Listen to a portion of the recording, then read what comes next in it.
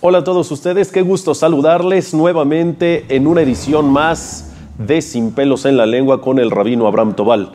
Y bueno, la verdad que la última edición de Sin pelos en la lengua, que fue de mitos y supersticiones, que de hecho fueron ya, tenemos dos sesiones, nos quedamos muy picados. Jajam, bienvenido, gracias por eh, acudir nuevamente. La gente, la, audiencia lo, lo valora y lo aprecia mucho. Gracias por estar aquí. Es lo prometido que vamos a continuar. Sí, se acuerda que nos quedamos ni siquiera a la mitad de la lista. Tenemos una lista Yo creo muy que van grande. a surgir más todavía de Sí. tu lista. Bueno, y mientras eh, la gente le quiera, pues al cliente lo que pida. Eh, recuerdo que en la primera sesión usted nos, nos explicó muy clara y ampliamente en temas de duelo cómo existen muchas supersticiones alrededor y nos argumentó que muchas veces, eh, vamos a decir, la gente no quiere o siente que le traen el luto a la casa y por eso no se van directo de la casa de duelo a la casa, etc. Sin embargo, hay muchas otras costumbres que tenemos que quiero saber si también rayan en la superstición y en la idolatría o de verdad están sustentadas. Por ejemplo, eh, se habla mucho y existe un tema lágico de zugot, de situaciones pares. Y es por eso que la gente dice que no hay que ir a la casa de duelo dos veces. Y si fuiste dos veces, pues tienes que hacer una trampita y entonces salir y entrar luego, luego para que ya se cuenten tres. Y hay alajot, o no sé si son alajot, pero es lo que se dice de que el darush cuenta o no cuenta como visita. Entonces, para ver si son dos o tres veces. ¿Qué onda con esto de las dos, tres veces de los zugot? ¿Aplica o no? Bueno, realmente esta práctica del el concepto más bien, no la práctica de ir a dar el pésame, sino el concepto de zugot, de pares, tiene su origen y su fuente en el Talmud. De hecho, en el Talmud, en el Tratado de Pesajim, cuando habla del ceder de Pesaj, y se mencionan las, lo que establecieron los Jamim, nuestros sabios, tomar cuatro copas de vino en Pesaj, ahí surge la pregunta que son son Pares. pares. Eh, bueno, y ahí se menciona que, es que Pesaj no, le shimurim, estamos Pesajes de protección. Existe ese concepto de origen, pero no en todo, en primer lugar. En ciertas cosas, evitar el par. Hay un concepto... ¿De mala suerte Que no, no, no, no, no. Que no quiero entrar ahorita eh, profundamente en el tema porque hay que entender otras cosas y se malinterpreta algo que se llama como mazikim, que entra o interpretación... Se podría de llamar dañadores. de, duende, de duendes o algo, una fuerza negativa que se agarraban de ciertas cosas. No quiero que se malinterprete, vamos a tomarlo ahorita muy superficialmente. Estoy tratando de explicar el origen. Entonces, en ciertas cosas específicas, hay como una lista de lo que hablamos de evitar el, el par, que en eso en particular. Una explicación es lo que acabo de decir, Nazikim, y otra explicación es que en los tiempos de antes que había mucha idolatría, la gente idolatraba a cualquier cosa, eh, eh, eh, imágenes y, y, bueno, muchísimo, estaba muy fomentada la idolatría.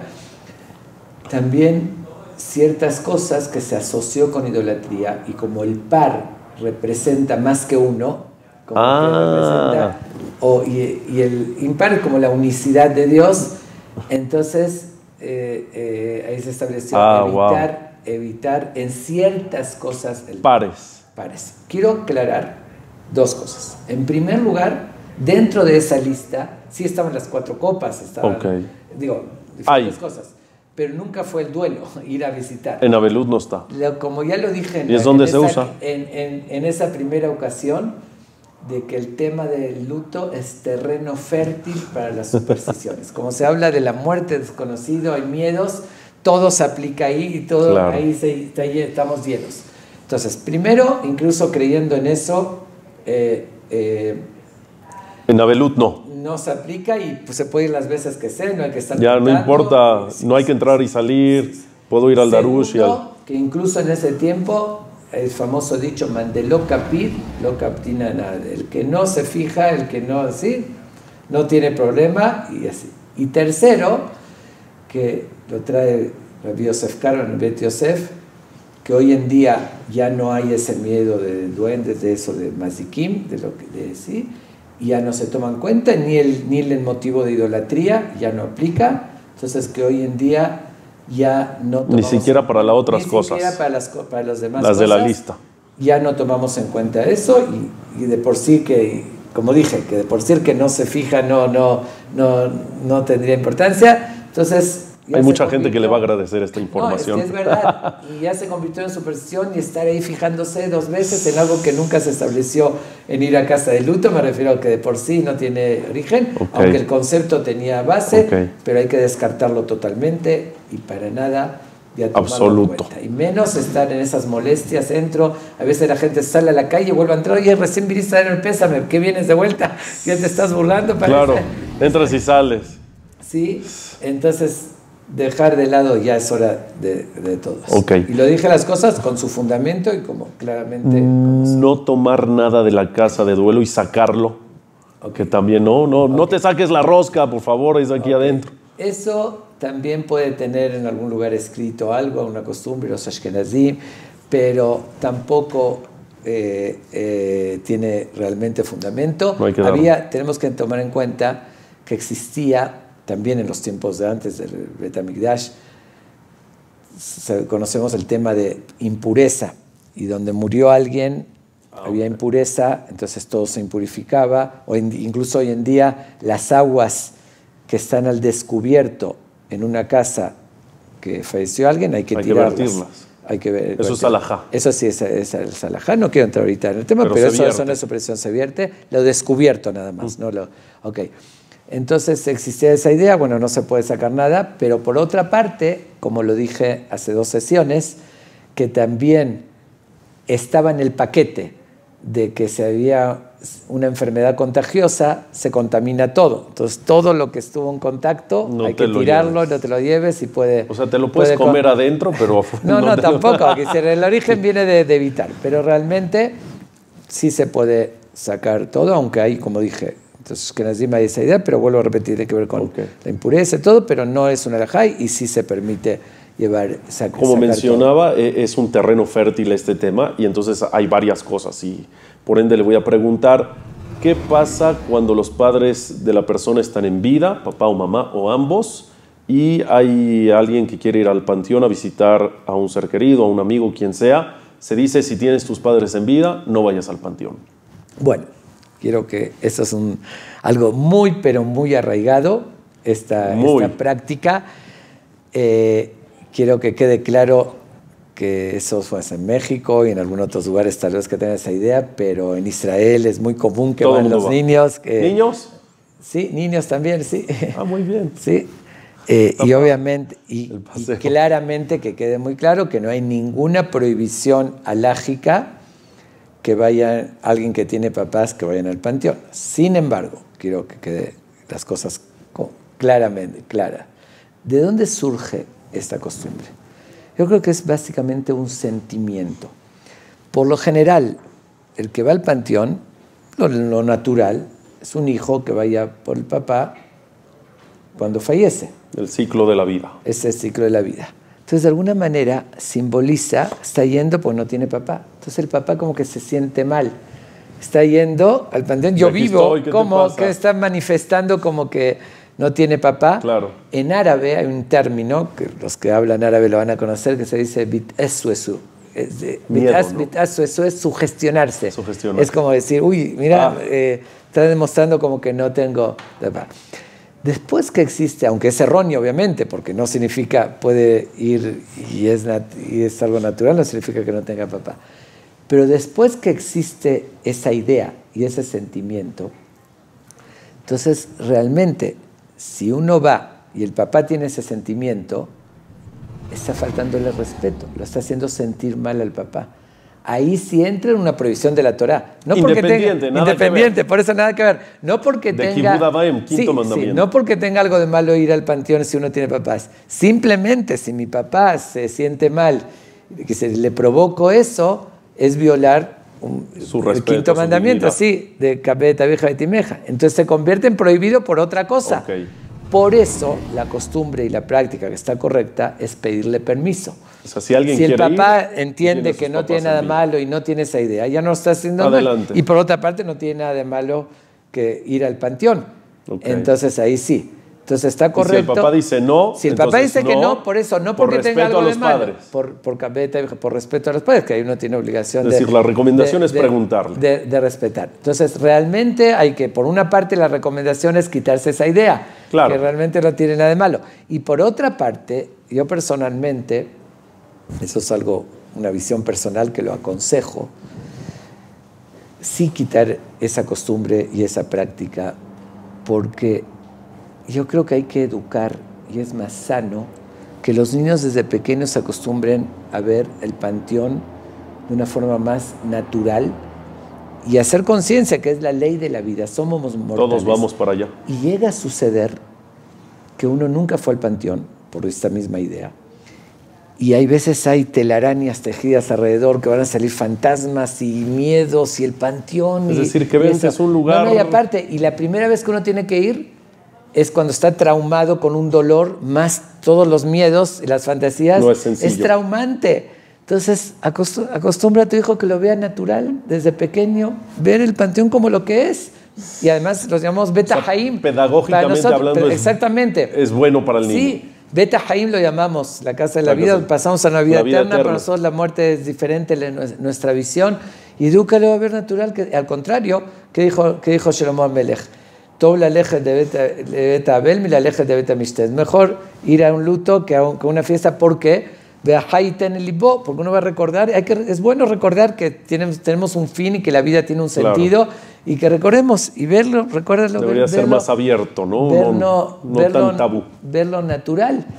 Eh, eh, y, siempre lo comento, que si a mí mi, mi hijo me pregunta si puede ir al panteón, seguro que le digo que vaya. Si me pregunta si puede ir al centro, ahí sí tal vez le diría que no, porque del panteón nunca oí que nadie se levantó a saltarlo. Pero en el, centro, sí. Es más peligroso. Es más peligroso, sí. El panteón, el panteón es tranquilo y, nadie le va a hacer nada. Y, nadie le va a hacer nada. Y no sé si, si se me permite un chiste que llegué a oír un poquito sarcástico. A ver. Eh, pues, también, como dije, este foro es suyo. Ese foro sí es sin pelos en la lengua y abierto. Pues cuentan que una señora fue una vez a visitar a un familiar al panteón. Era una tarde, pero una tarde que está nublada y se empezó a hacer tarde y era un panteón muy grande y el clima así empezó a estar eh, muy fuerte, rayos, centellos, de empezó miedo. a llover, empezó un ambiente tenebroso. De terror. de terror como se veía y de repente se da cuenta que está sola en el panteón y empieza a oscurecer y, ve rayos. Busca la salida, no la encuentra, se pierde. No, bueno. Se vuelve loca. Y entre el, ambiente tenebroso se está oscureciendo y perdida en el panteón, está tiritando no de frío, sino de miedo. De repente se topa con una persona, una persona que se vea bien vestida, y le, y encuentra, ¿qué tiene señora? Es que estoy muy asustada, no encuentro la salida. Se quiere que la acompañe y dice, por favor. La está acompañando a la salida y le pregunta, ¿y por qué está tan asustada? Es que me dijeron que si una persona se queda sola en el panteón de noche, salen se levantan los muertos, salen los fantasmas, por eso estaba muy, muy asustada. Le dice, ay señora, ¿usted también se cree esas tonterías? A mí también cuando vivía me habían dicho lo mismo. ahí, ahí está. ok, pero aclarando, esto, no va a pasar esto es un chiste. La realidad es que no se levantan, que es un lugar natural. A nadie le pasa nada. Y que hay que quitar esa idea. Pero como lo aclaré, sin hacer sentir mal y sin falta de respeto a los padres. ¿Sabe que, que hay un señor que fue al Beta Jaim y le puso Waze no sabía llegar y entonces cuando llegó estaba en la entrada, el Waze le dijo, ha llegado a su destino. Y entonces se asustó mucho y dijo, no, no, quiero Bueno, jaja. Eh, eh, uno, uno, uno, uno. Eh, es el mismo tema el Kadish cuando uno tiene papás, porque el Kadish son alabanzas a Dios, pero se, se, se encajona, vamos a decir, si se me permite la expresión, para temas de duelo y de luto. ¿Se puede decir Kaddish si uno tiene papás? ¿Es el mismo tema del panteón cuando uno tiene padres o no? Bueno, aquí aprovecho la pregunta también para hacer una breve aclaración de qué es el Kaddish. Como lo acabas de decir en pocas palabras, Kaddish, la palabra viene de Kodesh, santificar. El, el, concepto del Kaddish es una forma de santificar el nombre de Dios. De hecho, está considerado, contemplado como un himno de alabanza a Dios. Oh, wow. Lo establecieron eh, nuestros grandes Jamim como una forma de, de entonar un himno, de Para enaltecer engrandecer. y, y- y santificar el nombre, el nombre de Dios. Por- esa es la razón por la cual se requiere un quórum, que, es un quórum que es frente a una edad, una congregación. Mínimo de una congregación Diez. son 10, por eso se requiere minyan, porque de lo contrario sería devaluar, desprestigiar algo tan importante, unas palabras lo tan uses cuando importantes. sea. Es como yo siempre le digo, como el día de la independencia se entona el himno nacional y se dando la bandera. No se hace uno en la casa en privado. Claro. Dándole importancia se hace frente A un cortejo, a un, a un quórum. Lo mismo el Kaddish tiene que ser. Ok. En ningún momento se estableció con la idea de decirlo cuando uno pierde un ser querido. Se estableció nada más para alabar el nombre de Dios. Y así se hizo muchísimos años sin que surja la costumbre de decirlo por la pérdida de, un ser querido. En épocas dicen que de Rabbi Akiva y- comenzó esa costumbre de, de- de decirlo cuando uno pierde un ser querido, porque, digo, no es el tema, pero lo digo muy rápido ya que salió la pregunta, porque eh, uno cuando pierde un ser querido está pasando una prueba de fe. La reacción natural sería cuestionar y reclamarle Claro. a quien me lo llevó. Claro. Decimos Hashem Natan, Hashem Lakach. Dios es que da la vida, Dios es el que la quita. Entonces, ¿a quién me- le voy a reclamar? A Dios. El que la quitó. Y la fe es la base de todo lo demás.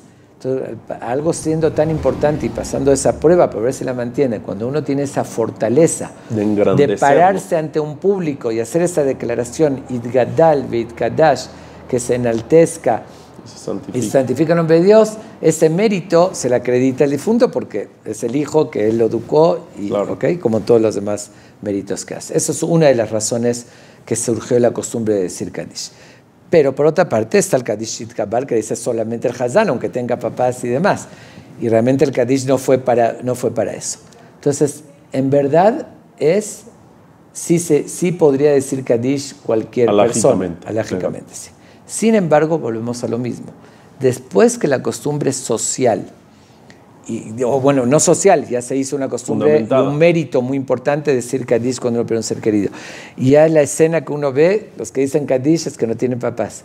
Entonces volvemos al mismo sentimiento que mencioné antes de ir al panteón. Como dicen, eso, eso, el papá se sugestiona. Mi hijo ¿Cómo está diciendo diciendo Kaddish? y yo estoy vivo. ¿Cómo es? dices cuando Se ha de fallece? sentir gacho. Y eh, sí, se siente. Ahí sí tiene un poquito más de sentido Se de todavía. sentir feo.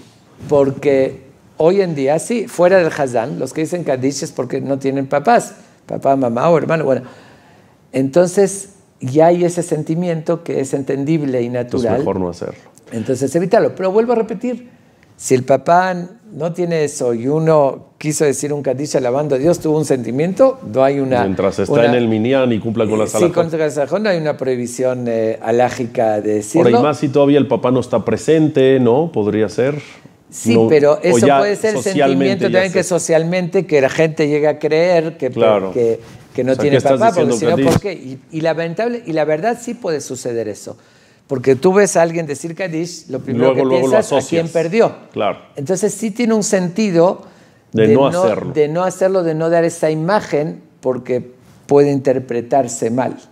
Pero si vamos eh, puramente hablando de, de así de la realmente el Kaddish es el nombre de Dios y no tendría alguna Claro. restricción. De Pero hecho, el tiene- Kadish establecido del Hazán, ahí no aplica esta parte social, porque la gente sabe que es del que Hazán es y del por eso Hazán sí y no lo, va a confundir. Aunque tenga papás. Exactamente, ¿Se no lo va a confundir. Ok. Pero ese sentimiento tiene lógica porque ya es una realidad que después de que vemos así, ya se puede, se puede interpretar. Está clarísimo. ¿Se acuerdan que me dijo que iban a salir más?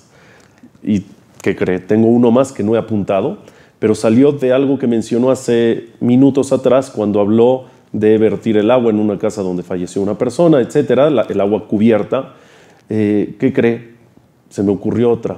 Cuando una persona deja un vaso con agua o con líquido descubierto y pasa la noche, ya no te lo puedes tomar. Ok. Bueno, eso está en la Lajá, en el. Talmud, que se llama en Ruach Ra, dice el espíritu del Invade al agua. No quiero, de vuelta, para entrar a entender esas cosas que hay muchas interpretaciones, qué significa, no vamos a entrar ahorita eh, así. El motivo, sí, eso es un motivo, pero otro motivo eran los tiempos de antes, que era el básico, eh, eh, vivían en granjas, en el campo, habían serpientes, todo tipo de animales, alacranes y demás, y podía ser que uno está dormido en la noche, Entre puso algo veneno, puso algún veneno, algún, algún insecto venenoso que no se ve. que no se ve, entonces ahí era sacaná, era peligro de la vida. Entonces ahí se prohibió terminantemente. Que esto no aplica hoy. Eso no aplica El hoy. motivo. El motivo, Pero dice existe otro motivo de... Ruach Ra, que tampoco Energía. básicamente aplica hoy, eh, eh, pero eso es una, viene de una alajá, pero que tiene un, que Ok. tiene un fundamento. Y hay que Entonces, checar los detalles porque creo que no- nada más es en agua, ¿no? No es en todos los líquidos. Es algo que contenga agua. Sí, en agua hay quien dice no, que en otros, pero eso es un tema no de superstición, sino como dije, la, el- la base, el principal Tiene motivo, tiene el sustento de- de- del, del miedo así. Nos queda un, un- una- un poco de tiempo para una pregunta más, eh, Jajam, de, las, de la lista que, que tengo yo aquí. ¿Me puede explicar, por ejemplo, una costumbre muy arraigada que tienen las personas de no brincar personas? Porque si brincas a una persona, no crece. Y entonces si por casualidad o por error la brincaste, para que sí crezca, hay que regresar el brinco de, de vuelta. Hay que volverla a brincar. ¿Había escuchado algo así?